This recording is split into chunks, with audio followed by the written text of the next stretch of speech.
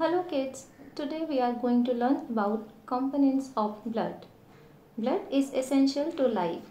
Blood circulates to our body and delivers essential substances like oxygen, sugar, fats and nutrients.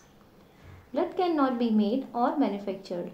It does not have any substitute. Let's see components of blood. There are four basic components of blood. Red blood cells, white blood cells, plasma and platelets. Blood has 45% of red blood cells, also called erythrocytes. Platelets are responsible for blood clotting. They are called thrombocytes. White blood cells, also called leukocytes, they flow through the bloodstream and attack foreign bodies like viruses, bacteria. It is present only 1% in quantity. Plasma is the main component of blood. It is present in 55%. It mostly consists of water with ions, proteins and nutrients. Blood is red because of red blood cells.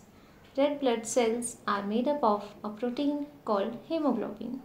Thanks for watching this video. If you like the video, please like it and share it with your friends. And subscribe our channel for more such videos.